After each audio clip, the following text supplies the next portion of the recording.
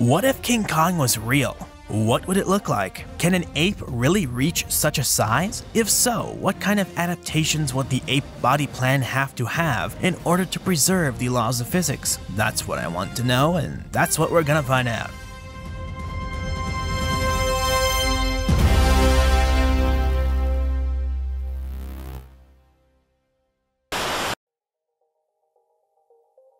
I think by now, most of you are aware that I'm a big fan of monster movies. What paleo nerd isn't? It's not a far leap from monster movies to dinosaur movies, which technically fall under the same category from Hollywood's lack of creativity to dinosaurs and other prehistoric animals themselves.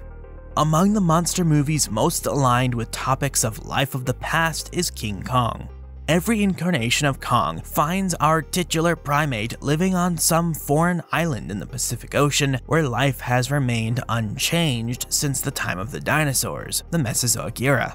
The original 1933 film placed Kong on the fictitious Skull Island where dinosaurs and other prehistoric creatures remain in a lost world.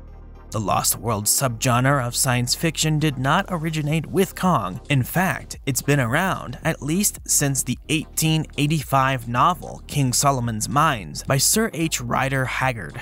In this particular novel, The Lost World was one located in Africa, which involved a secluded group of folks undiscovered by Westerners, nestled within a mysterious valley with loads of riches. Though no dinosaurs appear, it became the inspiration for many more fictitious yet believable tales of lost worlds, like Rudyard Kipling's The Man Who Would Be King, Sir Arthur Conan Doyle's The Lost World, and Edgar Rice Burroughs' The Land That Time Forgot.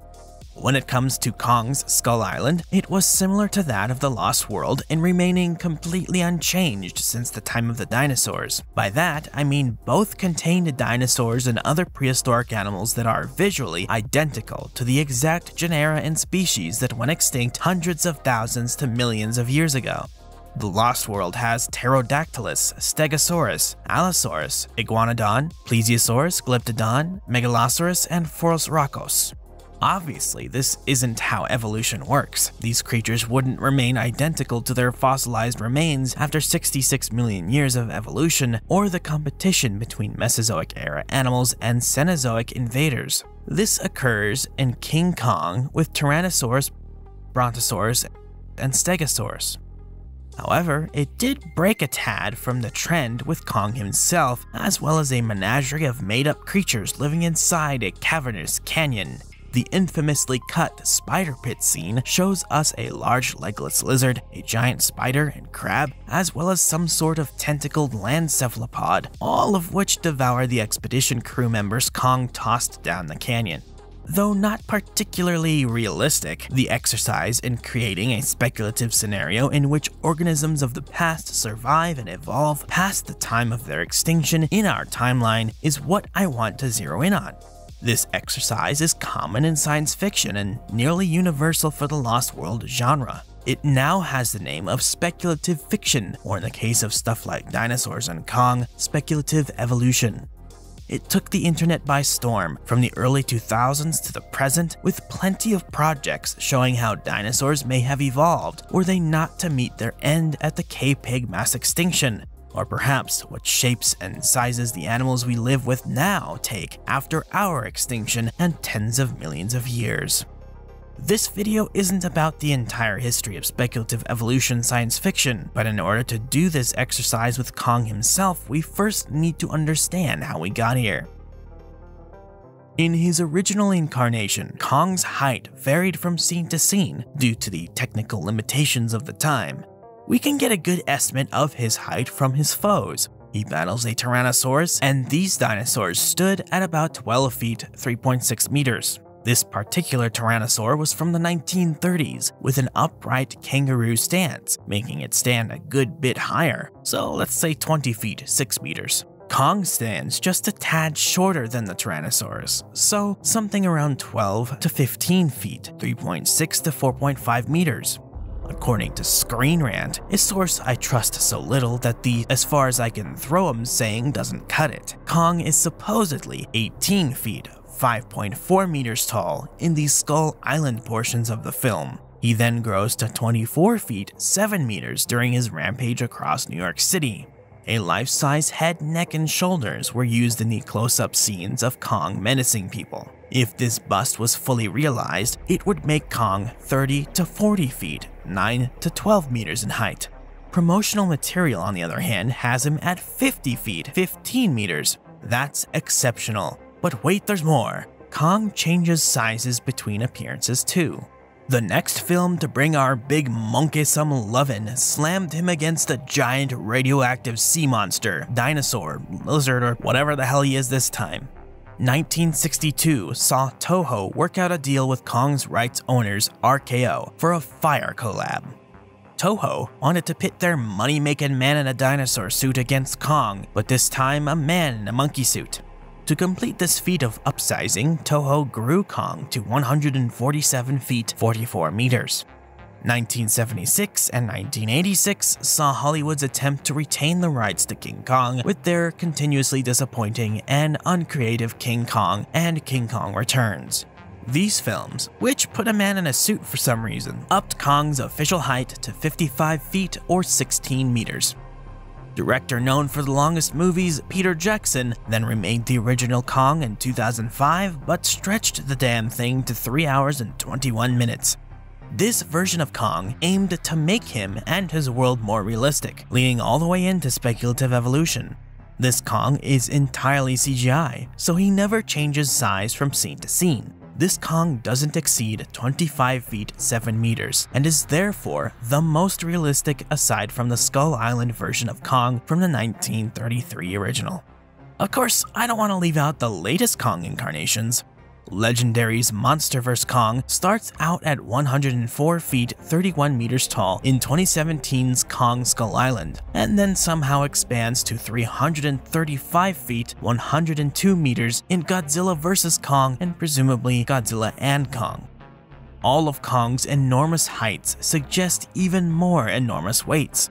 To figure out what if Kong was real, we first need to figure out his weight. Then we need to explain what would happen to him with absolutely no alterations to his design. Then we can figure out how to fit Kong into our reality, the speculative evolution way. A big monkey. Since Kong is a fictional critter, a lot of the measurements and dimensions are gonna have to be super tentative and slightly subjective. I'm going off what makes the most sense based on other pieces of evidence. I'm going to base Kong's weight mainly off the critter he most resembles, the gorilla. The largest male gorillas weigh in as much as 500 pounds, 226 kilograms. They can stand as much as 5 foot 11 inches or 1.5 meters, though at this point that doesn't matter.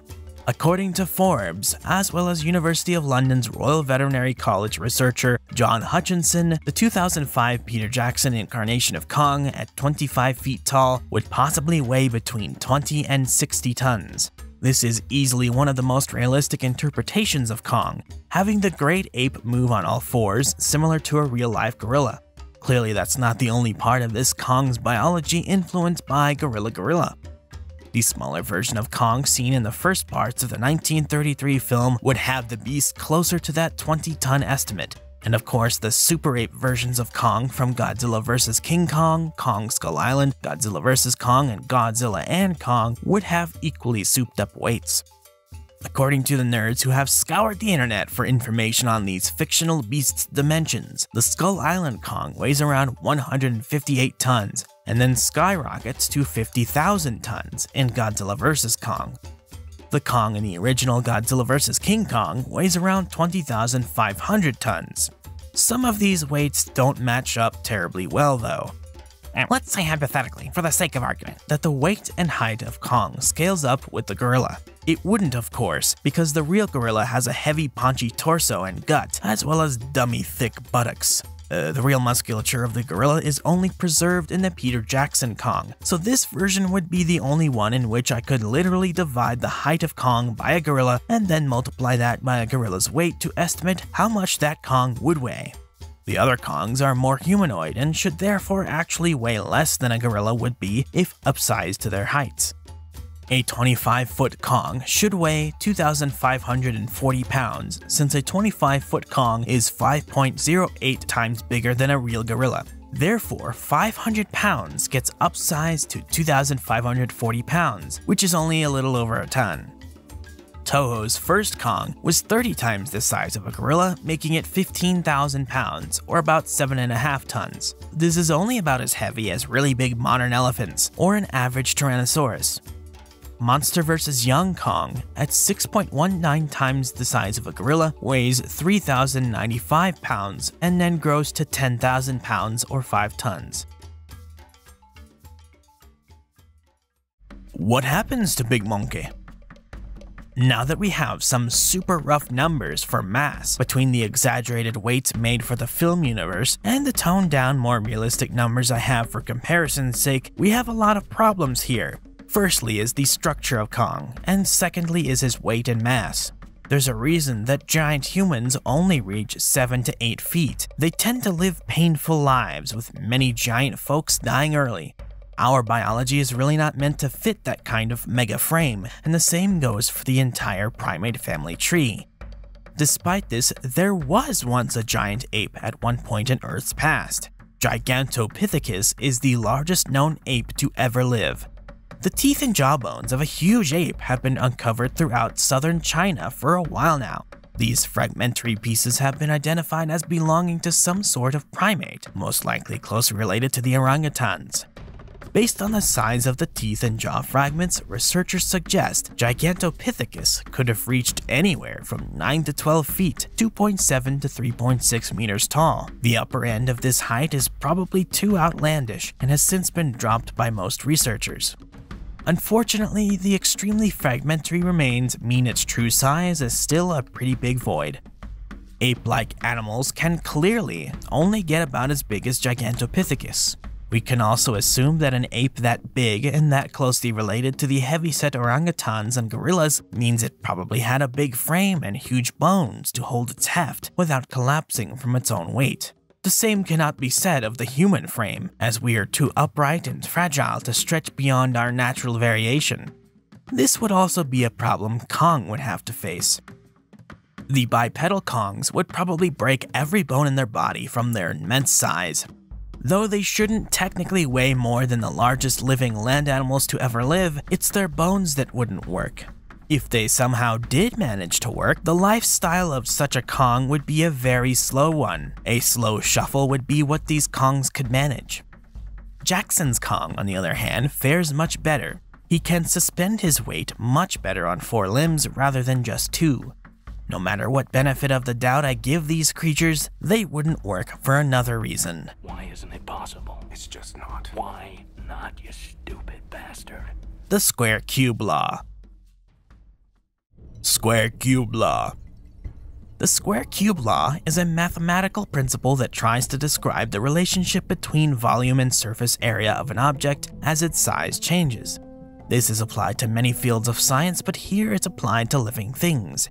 You see, an elephant cannot be mistaken for an upsized mouse. If an animal were isometrically scaled up by levels of magnitude, its relative muscular strength would decrease. The cross sections of its muscles increase by the square of the scaling factor, or how many times you increase it. The mass of the animal, on the other hand, would increase by the cube of the scaling factor cardiovascular and respiratory functions would stop working the same way since small animals are adapted for being small and vice versa for big animals. The bones of an elephant are necessarily proportionately larger than those of a mouse. If you scaled up a mouse's thigh bone to be the same size as an elephant's, they still look wildly different when it comes to proportions. The elephant's thigh bone is way thicker and more pillar-like because it's adapted to hold up so much more weight. J.B.S. Haldane wrote an allegory for this law in his 1928 essay on being the right size. Consider a man 60 feet high, giant pope and giant pagan in the illustrated Pilgrim's Progress. These monsters weigh 1,000 times as much as a normal human. Every square inch of a giant bone has to support 10 times the weight borne by a square inch of human bone. As the average human's thigh bone breaks under about 10 times the human weight, Pope and Pagan would have broken their thighs every time they took a step. This means that all the super simple baby math I did earlier is meaningless. You cannot simply multiply the weight of a gorilla by however many times bigger the Kong is. Mass disproportionately increases with an increase in size. This means all of the Kongs would be far heavier than a gorilla at the same size. I think this means we should take the reported weights of the Kongs at more of a face value. This means our Kong breaks the laws of physics and biology even though his recorded weight really isn't that much. The bones just aren't built to withstand 17 tons, let alone the monstrously large 50,000 tons of the Monsterverse version. This is to say nothing of all the other physiological adaptations such an ape would need at that size high blood pressure, big fat hearts, stretchy tendons, and more. These Kongs would break every bone in their bodies and then die from overheating and dehydration from the inside. Let's fix monkey. So, what would an ape look like if it evolutionarily adapted to these kinds of sizes? Thanks to the fossil record, we can get a good idea of what such a creature would look like.